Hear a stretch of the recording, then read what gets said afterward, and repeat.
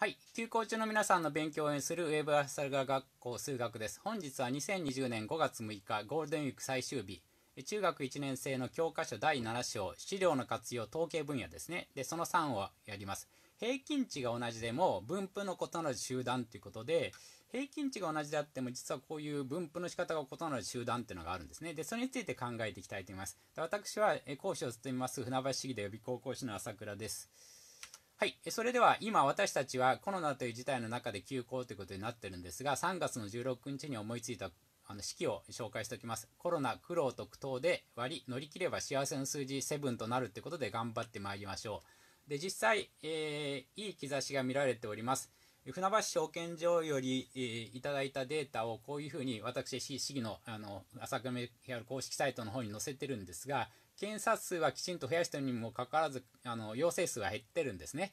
そして特に4月30日から5月5日の6日間についてみると、えー、っと船橋市では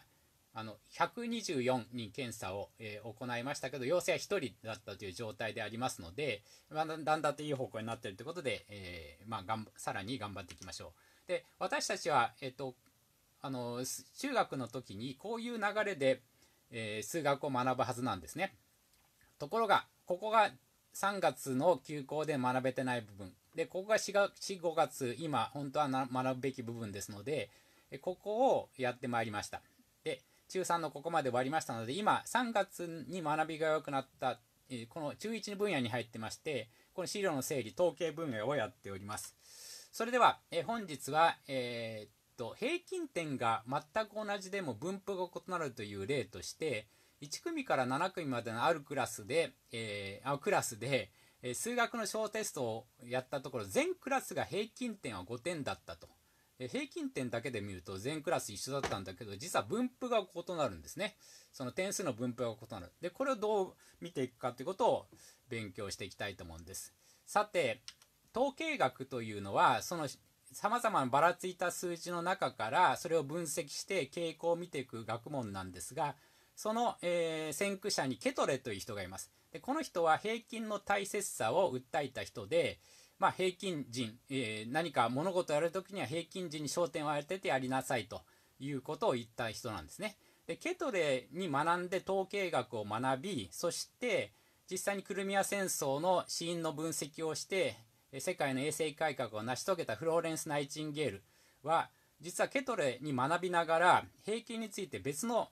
表現をしております。が看護覚書という本の中なんですが、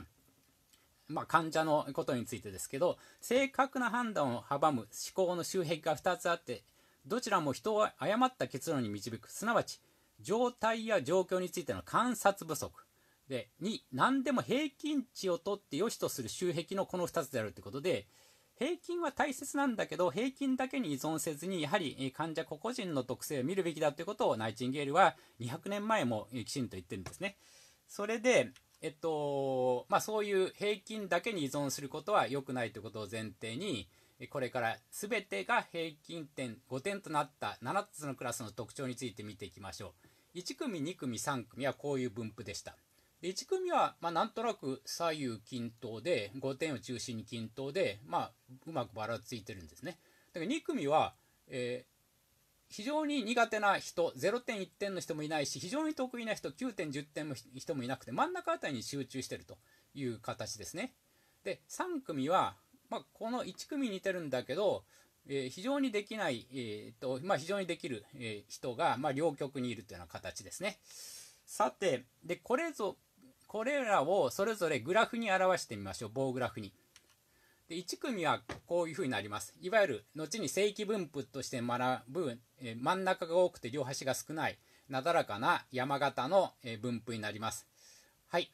で、得意な人、本苦手な人も、まあ、均等にいるようなクラスということになります。で、2組は、えー、真ん中に集中してるんですけど、両端がいないんですね。ただ、この、その3クラスは全部、平均値も5点、そして真ん中の人、えー、あの25人目とあ違う30人ですから15人目と16人目の、平均値ですけどそれも、まえー、5点そして最もよく現れる数字も5点の人が多いということで、えー、この3つの代表値が全て5点に集中している点は一緒ですただこれは、ちょっと、え、狭いところに集中してるんですね。9点、10点と0.1点がいないと。で、3組は少し、え、この、え、1点とか9点がいなくて、1点、あ、0点と10点がいるという形です。さて、それぞれの、えー、3つのクラスは、あのえー、っと特徴の違いとしては、この3つの値は5点で集中してるんだけど、範囲が違うということですね。特に1組と2組は。ということで、範囲で、えー、真ん中に集中してるか、分散してるかの特徴が、まあ、見ることができる。じゃあ次、4組、5組見ていきますね。4組、5組は、どうでしょうか？なんか、4組は3点の人が10人と多いですね。そして、えっと、こちらの、まあ、高得点の人は、まあ、少しずついるという形です。で、一方、5組は逆に、あの、7点という高得点の人、まあ、ちまあ、えー、ちょいできる人が多くて、えー、まあ、でもできない人も、あの、こう、分散しているという形です。さて、それをグラフに表してみるとこうなります。で4組は3点のところに最頻値最も数が多い10人というところがあります。そして、えー、っと30人ですからあの、まあ、点数が低い方から15番目と16番目の人は実はここにいるんですね。ということで中央値は4点になります。で平均値はこれ全部をしなべた形で5点になります。はい。じゃあ逆に5組は、えー、最頻値が7点。そして中央値が6点と。で、平均値が5点ということで、えこの3つの値がちょっとばらつくんですね。こういう偏りのあるグラフだと。さて、その次6組7組を考えてみましょう。で、6組7組は、6組は非常に面白い特徴があって、2点が5人、8点が5人ということで、2点と8点が多くなってる。そして真ん中の4点、5点、6点あたりは少ないということですね。これ2つ山ができそうです。で、7組はどうかというと、4点になんと16人も集中してると。だから平均点4点になってもう良さそうなんだけど、こちらに10点の人が2人いることもあって、平均点は5点になってるということですね。さて、それをまたグラフに書いて、あの棒グラフに示してみましょう。で、そうすると6組は、まあ、左右対称ですので、まあ、平均値と中央値、真ん中の値は5点になってますけど、最頻値、最も頻度が高い値は2点と8点両極にあります。2つ山グラフになるんですね。の棒グラフになります。で7組はこの最頻値と、え中央値がもう4点のところに集中してますので、えここの4点なんですけど、まあ、こちらの影響で平均値は、え5点ということになっております。さて、ということで同じ平均点5点の7クラスでも分布の特徴が違うということで、え実はこれここら辺をきちんと把握してくるとこの数値として与えられたこれだけからだいたい形の類推がつくんですね。1、2、3組は、平均値、中央値、最頻値が両方5点ですから、多分左右対称の山形グラフだろうと。ただ、1組、3組はあの範囲が10点ですから幅広く、こっちは、えー、範囲が6点ですから、ちょっと中央に集中しているようだということが類推できます。で4組、5組は、4組は、どうも最頻値が3点ですので、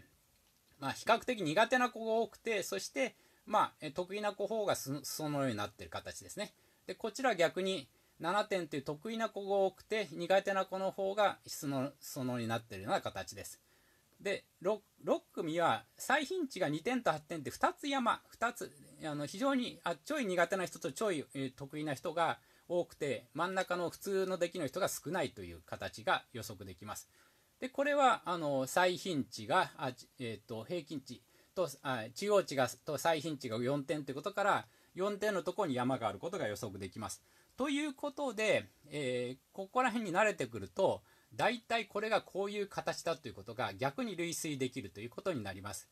さて、えー、コンピューターの話も掛け合わせていますと、実はこの私の棒グラフは、まあ、使いこなしている方もいるかもしれませんけど、Excel という、えー、あのソフトで作ります。パソコン上では。で、ここに点数を入れて、ここにその人数を入れるんですね。で、それを変換して、この、えっと、挿入というところで、まあ、おすすめグラフという、あおすすめグラフっていうのが、これが一番簡単なグラフなんですけど、このおすすめグラフの他にも、実は統計学で学ぶ様々なグラフを、えー、あの、パソコンの Excel データで使うことができます。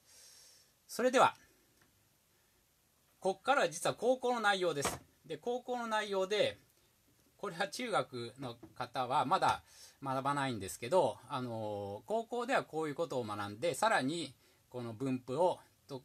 特徴を示すことができるということですね。で先ほど1組と3組、えー、さっきの1組と3組は平均値、中央値、最頻値とも5点になって範囲も10なので1組と3組の差を示すことができないと言いました。中学の認識だけだと差を示すことはできないんですけど高校に来ますと四分位数というのと箱ひげ数というのを使います。でこれまあ詳しく説明するとキリがないんですがここが中央値です。でここが四分位値と言いましてこの中央値とこの一番低い値の中間ということですね。ここの間の中央値になります。つまり、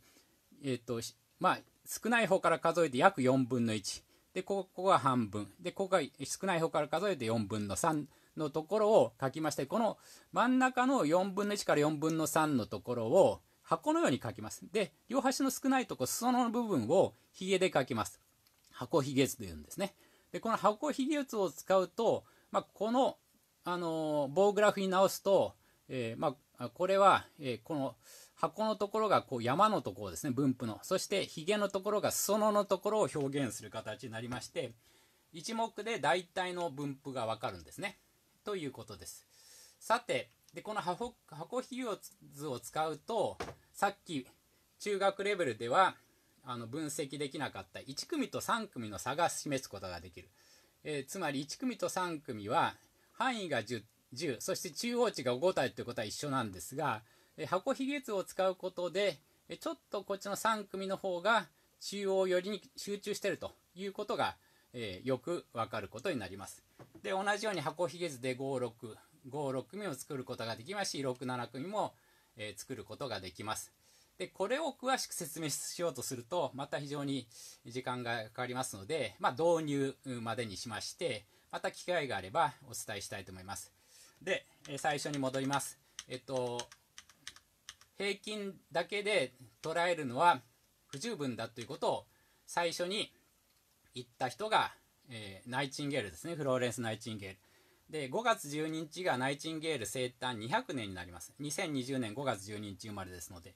で私はナイチンゲールに非常に影響を受けて、えー、まあ、最も尊敬する人物です。で、えっと、ナイチンゲールがどういう、えー、生き方をして、えー、ナイチンゲールが残したものが現在にも引き継がれてるという話を誕生日の5月12日にはしたいと思いますのでこの、えー、私の、え数学の授業をずっと、え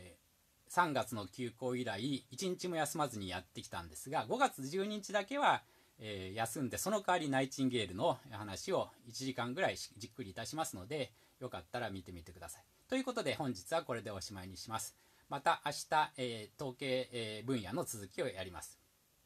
ご清聴ありがとうございました。